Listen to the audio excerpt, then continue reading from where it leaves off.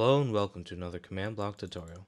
Today's episode we are going to be using the has item command selector.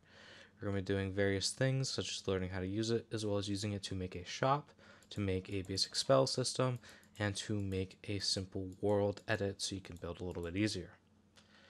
I'm going to be lingering over each command for a few seconds, long enough for you guys to be able to pause it and be able to copy the commands if you want to. To start off, these are a few commands that I'm using. You just need to run them once, and this basically prevents your chat from being spammed if you have command blocks running in the background. So for this first example, we're just going to be using the has item command. We're going to be having has item here with an equal sign, and then whatever is going to be detecting with the has item is going to be in these little brackets here. So we're just going to be checking in the inventory, do you have a gold ingot item? As you can see, as long as I have an ingot in my inventory, this light's going to turn on. Doesn't matter where in my inventory it is. We can use this for more than just test for commands.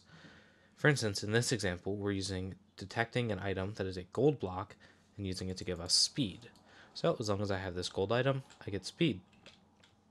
In the next, next example, we're going to be checking for an iron ingot, except this time we're going to be checking its location we're going to see if it's in the weapon slot dot weapon dot main hand. This means that you are holding the item in your primary hand whenever you are using this location selector. So as long as I have this iron ingot in my hand, light turns on. If I'm not holding it, light turns off.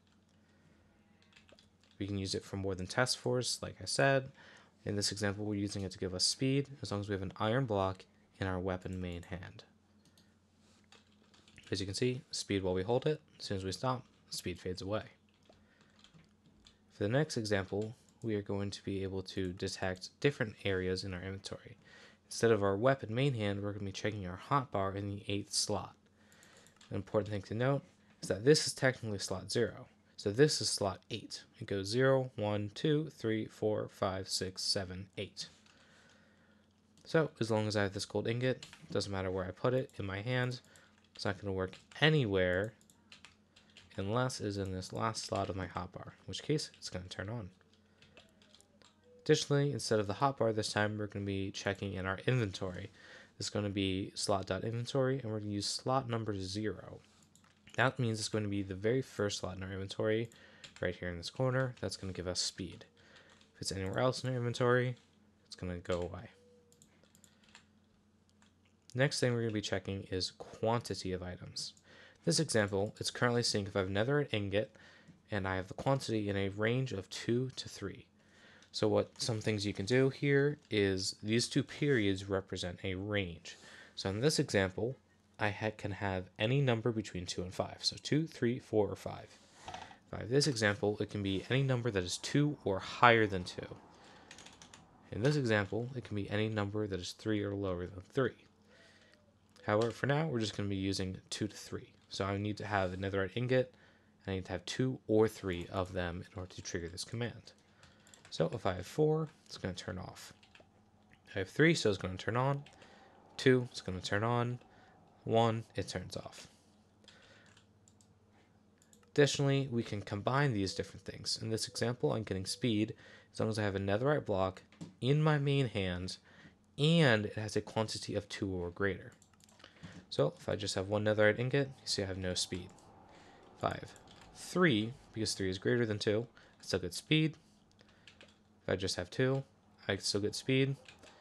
I only have 1, now I'm going to lose that speed. Another thing the has item selector can do is have a data value. This is for certain blocks like different colors of wool. They're all technically wool items, but they have different data values for different colors. Data 0 is white wool in this example. So we're going to be checking if we have white wool in our main hands. Now, as you can see, this does in fact work. The issue is, even though we have data selected as zero, and it should only work for white wool, it's also going to work if I'm holding orange wool, which is the data value of 1. This is currently bugged in the update I'm recording. However, by the time you're using this video, it may already be fixed. In this example, as you can see, as long as we're holding orange wool, we should get speed. However, this also happens when we are holding white wool. Like I said, this is a known bug. It will hopefully be fixed in a future update. That's essentially all that the has item command can do. Now we're going to be moving on to some things you can do with the has item command. So as you can see here, we have a shop that sells diamonds if you have five gold. If I press the button, absolutely nothing's going to happen because I don't have any gold. If I have four gold, which is not enough to buy anything, nothing.